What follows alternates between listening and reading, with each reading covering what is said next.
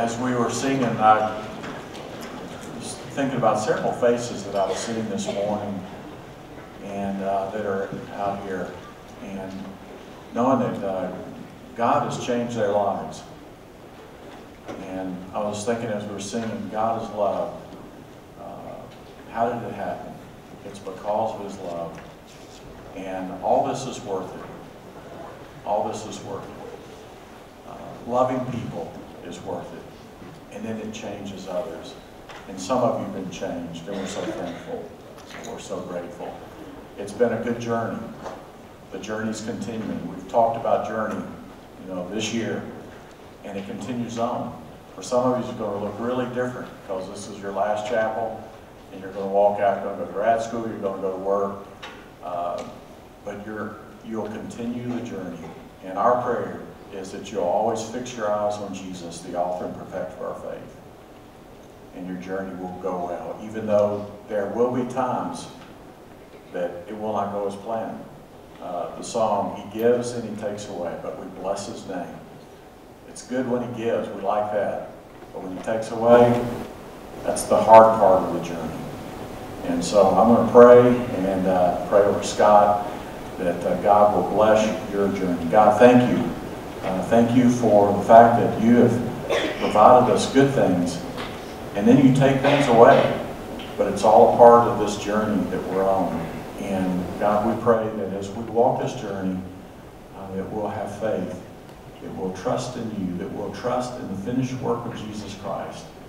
And God, I pray that uh, as we close out this uh, school year as far as uh, gatherings, uh, that you will speak through Scott. Thank you for the words he's prepared, and we just trust that your Holy Spirit uh, would uh, anoint his words and speak to our hearts. And we pray this in Jesus' name, for his sake and glory. Amen. Amen. Morning. One last stop along the way. Let me read to you from Mark 10. Peter said to him, We've left everything. Follow you. I tell you the truth, Jesus replied, no one who has left home or brothers or sisters or mother or father or children or fields for me in the gospel will fail to receive a hundred times as much in this present age homes, brothers, sisters, mothers, children, and fields, and with them persecutions. And in the age to come, eternal life. But many who are first will be last, and the last first. They were on their way up to Jerusalem with Jesus leading the way. And the disciples were astonished, while those who followed were afraid. Again, he took the twelve aside and told them what was going to happen to him. We're going up to Jerusalem, he said, and the Son of Man will be betrayed to the chief priests and teachers of the law. They will condemn him to death and will hand him over to the Gentiles, who will mock him and spit on him, flog him, and kill him. Three days later, he will rise. Then James and John, the sons of Zebedee, came to him. Teacher, they said, we want you to do for us whatever we ask. What do you want me to do for you? He asked. They replied, Let one of us sit at your right and the other at your left in your glory. You don't know what you're asking, Jesus said. Can you drink the cup I drink or be baptized with the baptism I'm baptized with? We can, they answered. Jesus said to them, You will drink the cup I drink and be baptized with the baptism I'm baptized with, but sit at my right or left is not for me to grant. Those places belong to those for whom they've been prepared. When the ten heard about this, they became indignant. James and John, Jesus called them together and said, You know that those who are regarded as rulers of the Gentiles lord it over them, and their high officials exercise authority over them. Not so with you. And instead, whoever wants to become great among you must be your servant. And whoever wants to be first must be slave of all. For even some Man not come to be served, but to serve, and give his life as a ransom for many. Then they came to Jericho. As Jesus and his disciples, together with a large crowd, were leaving the city, a blind man named Bartimaeus, that is the son of Timaeus, was sitting by the roadside begging. When he heard that it was Jesus of Nazareth, he began to shout, Jesus, son of David, have mercy on me. Many rebuked him and told him to be quiet But he shouted all the more, Son of David, have mercy on me. Jesus stopped and said, Call him. So they called the blind man, Cheer up, on your feet, he's calling you. Throwing his cloak aside, he jumped to his feet and came to Jesus.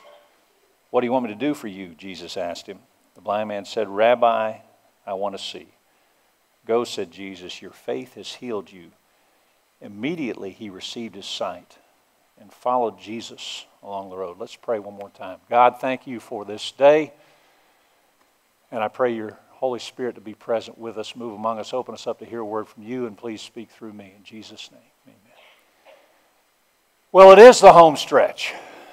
And uh, I need to put in the, the cursory as, as crucial as this time is, as much pressure as this is, there, there are other things that, as, even as my faculty friends, I look them in the eye, there are other things that are more important. Don't let it stress you too much.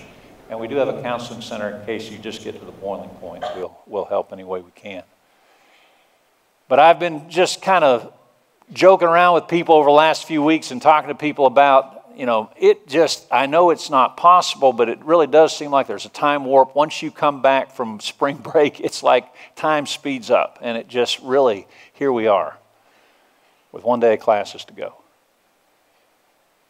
And so the theme all along has been journey, and, and this is the last stop, at least with, in terms of this journey.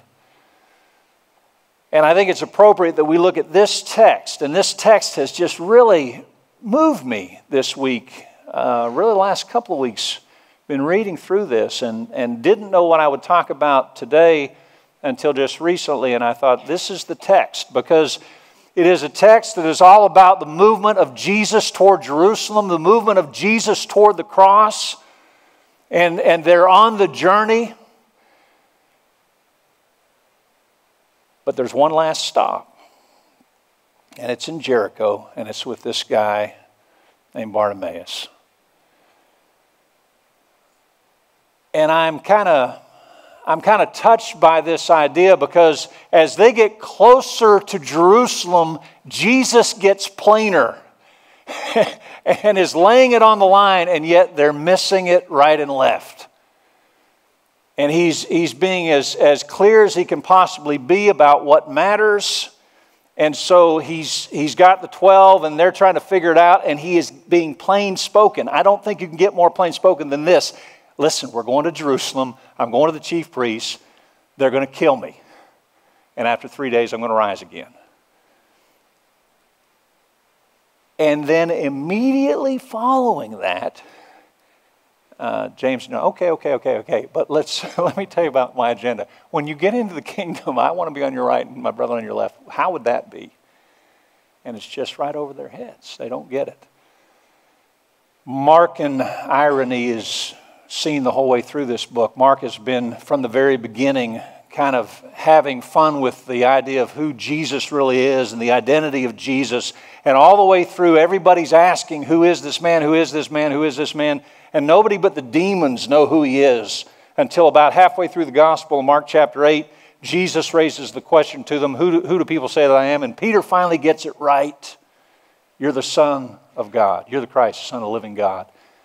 And he says, You're right, but it's immediately, you know, we're still going. He got the right answer, but he still doesn't understand. And it gets as, about as plain as it can get right now, but they don't understand. And so then, in typical Markan irony, the only person who sees is a blind man. And I like that. So here they are, this one last stop, it's Jericho. And, and Jesus is on, on the way, and they're following, and there's just one last thing one blind beggar by the side who, when he hears it's Jesus, Jesus, son of David, have mercy on me. And they're trying to quiet him down. Because again, their agenda and Christ's agenda are completely different. And so he doesn't have time for you, and they don't understand that for Jesus and in kingdom life, this is precisely the kind of person he has time for. Because Jesus is always about the individual. Jesus is always about a, a real one on one relationship where He wants you to come to Him. He wants you, He wants me, He wants us to embrace the way of the cross. He wants us to take this, this idea of the last shall be first and the idea that if you really want to experience life and you really want to have the good life, then you got to die to yourself, take up your cross, and follow Him. That even the Son of Man isn't among you as one who is served, but He's as, as one who serves. The Son of Man came, didn't come to be served, but to serve and to give his life a ransom for many. That's the clear call of God on our lives. And here's what I know that there are a bunch of you following Jesus. And praise God for that. And I'm following him too. I don't always follow him the best that I should. I've got all kinds of junk in my life, but I'm trying. I wake up every day trying to follow him. And I know some of you are following, and some of you, though, are just like Bartimaeus. You're you're on the side of the road, you're not in the road. That's a beautiful transition in this text. Bartimaeus is begins on the side of the road. He's just a bystander, and at the end of the story, after Jesus heals him and calls him, it says he followed him along the road. And so I, I want to say a word to, to any who are here who might be really just kind of, you know, I don't know if I'm in or out. My dad is an evangelist. He turns 80 May 1. He retired twice from preaching. Loved, loved sharing the good news with people. Came to faith as an, uh, an adult. Had a seven year old daughter, a four year old daughter, a two year old daughter, and I was on the way in the summer of 1963. And they kind of realized they were in over their heads. and so they, they, they came to the Lord and it's changed their lives dramatically. And their whole lives have been about trying to share that with other people and just, just lead people to know Jesus. And so I have a rich heritage of that. And whenever I was 14 years old, my parents, my dad quit his job as a metallurgical engineer running a steel mill and went into preaching full time, planted a church. And so in, from, from 19 whatever year that was, 77 on, he's been a preacher. Retired, he said the first time he retired, I want to retire before I lost my fastball. and uh, couldn't stay away from it, went back into it, and now he's retired a second time. But he told me a story about a, a guy that was a latecomer to Jesus. He was a man that whenever they moved to Kittanning, Pennsylvania, Allegheny River town, about an hour out of Pittsburgh, he was one of the first people that they, they had a contact with, and they, they studied the Bible with him. And he was a man who was a good man, but he really didn't know if he wanted to follow Jesus or not. And so they, he, Dad said that uh, they would have these conversations, and they would get down to the meat of, are you going to follow Jesus or not? And he would say with tears in his eyes, I just, I'm, i know what it says, but I'm just not ready to do that. And he said they did that so many times that dad finally said, I'm, I'm done. I can't do this anymore, and you can't do it either. We'll be friends, but I'm going to leave it alone. And so that went on for years. Dad retired from that place, went to another place. Got a call out of the blue from this guy's brother, said, uh, My wife and I want to come down and, and we want you to baptize us into Christ. And they did. And so it was a neat moment. He immersed himself in the life of Jesus, said, I'm, I'm going to follow, I'm all in.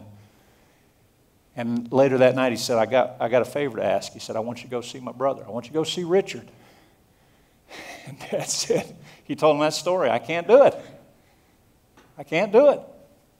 We've been through that. He said, I want you to give it one more try. And he went and saw Richard, and, and uh, Richard finally, late in life, said, I want to follow. So he did, and his wife did too. And sometime after that, his wife had some surgery. Everything well, went well in the surgery, but it didn't go well after the surgery. Blood clot went to her brain. And she spent the last few years of her life completely paralyzed. And Richard took care of her to the end. And when my dad did her funeral, he said to those grandkids, I want you to see what a follower of Jesus looks like. And I don't want you to ever let the story of your granddaddy's love for his wife die out. He came late to the party, but he came. And when he came, he understood what it was to follow Jesus. It means you deny yourself. For those that are wrestling with am I going to follow or not, I, I had the great privilege of leading John Smoltz around this campus last summer. Had a lot of fun with him, even though I'm an old Pirate fan. He showed up, he'd broken my heart, the old pitcher for the Braves. I took him, showed him around campus, and we got talking about his faith journey. And he told me that he came to faith as an adult. He'd been playing baseball, and there was a team chaplain for the Braves. It was all the time you need to give your life to Jesus, you need to follow Jesus. And he kept putting it off. And he said he finally looked the guy in the eye and he said, Here's the deal. What keeps me from just doing whatever I want to do until I'm good and ready and then late in life decide to follow Jesus? The guy said, Nothing. It's a free gift. You don't earn it. Nothing. He said, You trouble is you just might not make your timetable.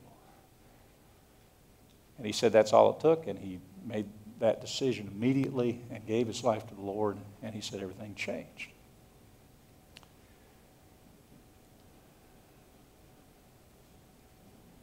Are you beside the road or are you in the road? And let me be plain. I'm inviting you on a journey, and I'm saying there's always room for one more. Just like there was for Jesus, he stopped and called Bartimaeus. And I love that Bartimaeus said, Jesus, son of David, have mercy on me, because what you need to know is what I know is that we all need mercy. There is not a bit of us, there is not one of us that deserves what God has for us. What we deserve because we're sinners, and I'm on the front of the line, we deserve separation from God. That's what the wages of sin is. But God's free gift is eternal life through Jesus Christ, His Son.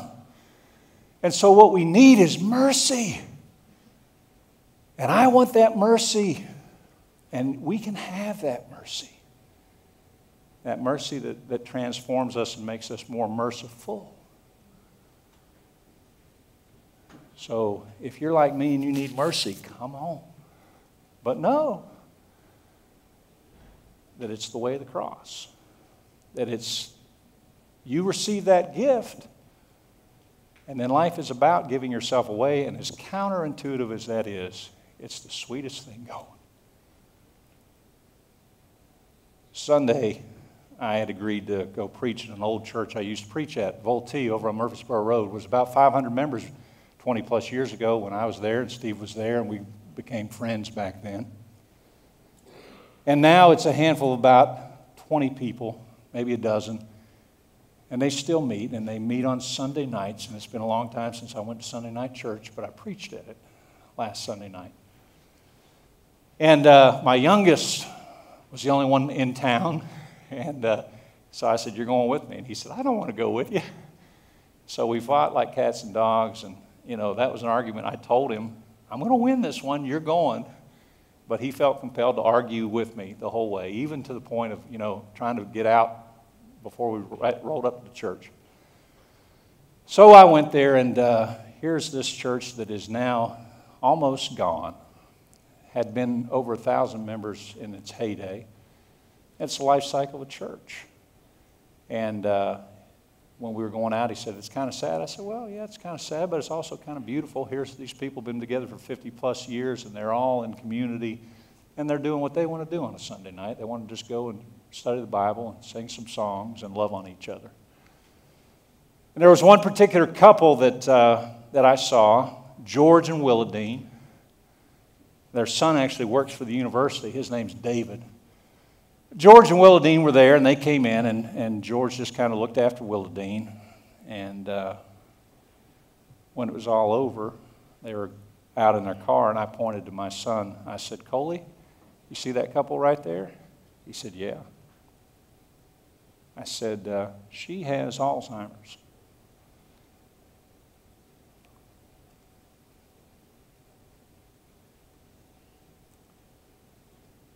A lot of times she doesn't even know who he is. But he's serving her. And I said, buddy, that's what it's all about right there. Oh, 13 year old boy started falling about like his old man is. I said, Well, I didn't mean to do that to you, buddy. I'm just trying to tell you that's, that's what it's about right there. There's a guy that's serving his wife. He made a vow a long time ago that said, For better, for worse, for richer, for poor, in sickness and in health, till death shall part us. And he's following Jesus. And he's not waking up every day saying, What's in it for me? He's waking up every day saying, Maybe, maybe God will help me get through another. And he's taking care of that woman that he's loved all these years. And he's not getting much, if anything, in return. But uh, he's living the good life. And he's doing God's work. And I got to believe that in the darkness at three in the morning, when he's really wrestling with how tough it is, he also knows the places what the psalmist would call inner being. What he's doing is right. That's the walk. That's the, that's the call to you and to me. So as this journey of year comes to an end, I look at a lot of young faces, your journey's just beginning. And I would say there's always room for one more. Follow this one who's on his way to die. Let's pray. Father, we love you, and I just pray that you'll help each of us to realize what matters and what doesn't. God, I'm, um, I'm struck by the irony of how what we know to be right is often right in front of us, and then we go grab like James and John did. We want to look good, we want to be first. We want a title, we want prestige. Father, help us to follow Jesus in his service, wherever that leads today and for a lifetime. God, we really do believe that's the good life. Help us to live what we believe. In Jesus' name.